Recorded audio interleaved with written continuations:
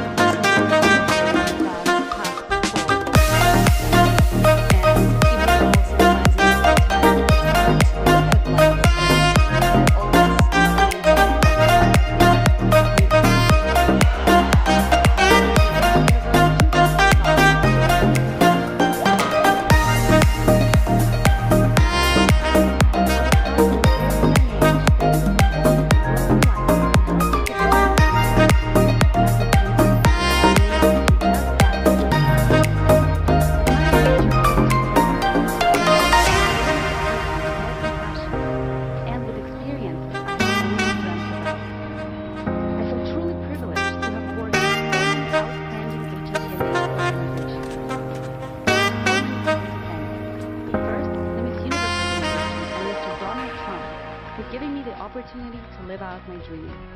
Dennis and Miguel and everyone at the Beauties of Canada organization.